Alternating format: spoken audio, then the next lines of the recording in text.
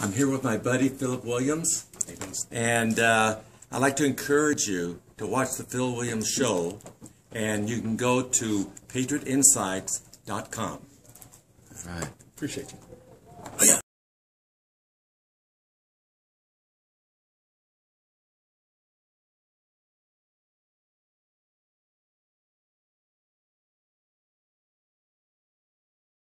It is that time for my response to a tweet. And today's tweet says, Phil, you sound like a broken record, repeating the same old tired points. Phil, you sound like a broken record, repeating the same old retired, I mean, same old tired points.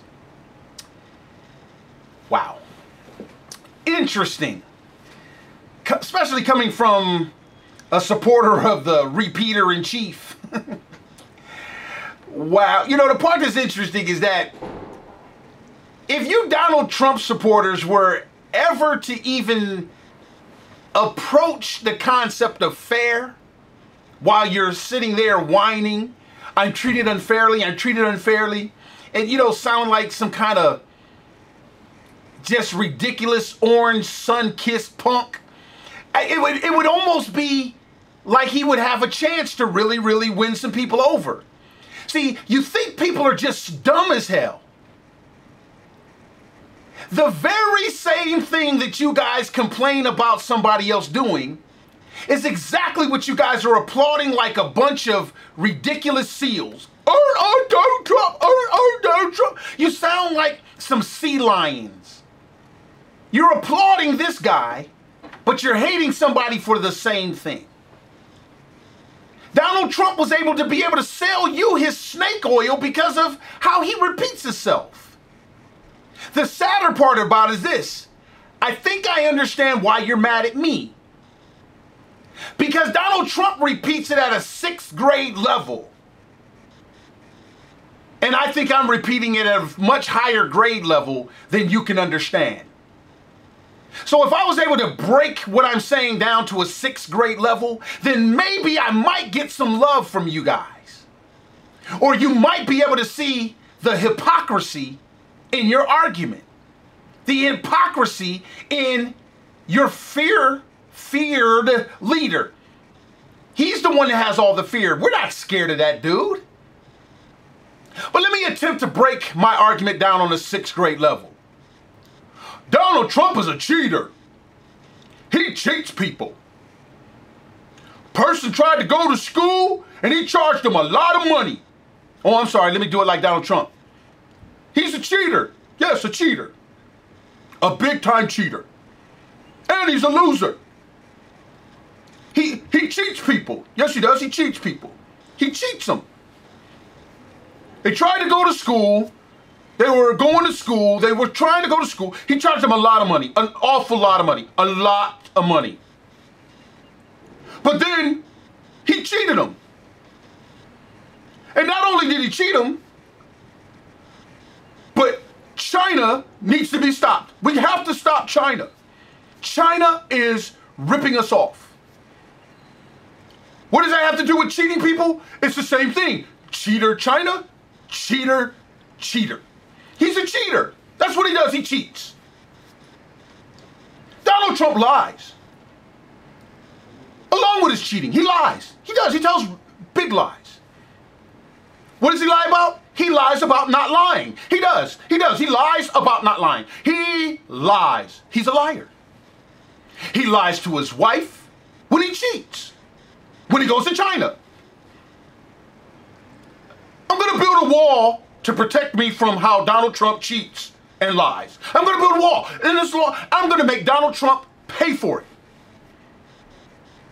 Yes, because he cheats. He's going to try to cheat me paying for the wall, but that's okay. I'll have something more. Did I mention China? Yep, the Great Wall of China. Guess who built that wall? Exactly, because he's a cheater. See, you see how ridiculous this is this guy's whole foreign policy. This is everything. America's going to be great again. But the point is, point is that you're cool when this guy repeats himself and he sounds ridiculous.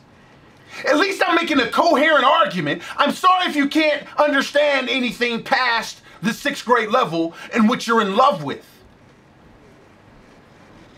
But this man, come on. The reason why he repeats is because he wants you to believe it. The reason why I repeat is because you need to believe it. The difference is, is this you believing him versus believing me will have our country in an unbelievable place. You don't even have to wait four more years. Wait one more month. Let July come around and you guys continue to give this country to Donald Trump. What's going to be repeated is what you've been going through the last eight years. Just on steroids and estrogen. And that's what's going to be repeated. The Supreme Court, repeated. Obamacare, repeated. Just on steroids and estrogen. You guys better start making this dude be more. Matter of fact, it's too late. Forget it. Thank you. It's done. It's over. This is what you're going to be hearing repeated constantly. Free the Delegates 2016. Free the Delegates 2016. Did I say free the Delegates 2016? Free the delegates. They got to be freed. We have to free them. They're captive. They are enslaved. We got to free them. Why do we have to free the delegates? Because they need to be free in order for us to stay free. If we do not free the delegates, if we do not talk to the delegates and get them to understand anybody but Trump, anybody for Trump, did I say anybody but Trump? Anybody, not somebody, not those bodies, anybody. Go get the handicap guy Donald Trump made fun of. He could be Hillary. Anybody but Trump. Go get some of the kids that Donald Trump said Ben Carson molested. They should be grown now. They can beat Trump. They can beat Hillary. Anybody but Trump. This is the point I'm trying to make. Free the delegates. You have to get your delegates to understand that this ridiculous orange person is going to destroy the country because he's designed to hand this thing over to liberalism. We have to repeat this and repeat this and repeat this. Never Trump. The key to never Hillary is getting rid of Trump. Our nation depends on you delegates. I hate the fact that you guys are in this position. But it is worth it on behalf of my children, my neighbor's children, the children that I'm the youth pastor of of the church.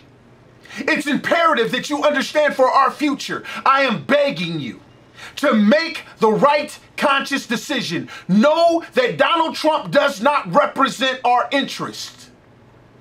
He has said it multiple times. He has flip flopped and he has put that on repeat. He is not going to change. He has said that. Believe him. He is the same old liberal, businessman extraordinaire that's extraordinarily unsuccessful at a lot of the businesses where it matters. He's very successful at cheating Americans. He's very successful at getting wives, multiple of them, and while he's sleeping with other people's wives. His moral compass does not exist. And if it does, it's in an electric field, almost like in the movie Avatar, and all of the things are going all over the place. This man does not have a moral center. And this man makes Sodom and Gomorrah say, damn, I should have ran for president. Period. He does not represent the right. Unless you delegates are willing to accept that you no longer represent the right either. You represent big business, crony capitalism, the power structure of the elites, the Republican Party that is really just like Donald Trump, a bunch of Democrats with an R in front of them. They're RINOs, they are not conservative, they do not care about the Constitution, and they're cool with us going down the road of Sharia law. And please, for the God's sake, stop comparing what's going on in Britain as some kind of prerequisite to everybody's cool with Trump. Britain just said we're cool with we're not cool with the Trumps and the chumps that the Trumps had funded. Period. They're tired of crony capitalism, and Donald Trump is the epitome of crony capitalism. Look up the definition of crony capitalism, and you see Donald Trump there like this. Period. Wake up, people, delegates, we need you. If our forefathers can come and talk to you in a seance, get a Ouija board so George Washington can say, Save us, delegates. Save us. Hey. I'm Phil Williams. Hey, Sean. Hey, wipe your mouth, man. Wipe your mouth. You got something white on it.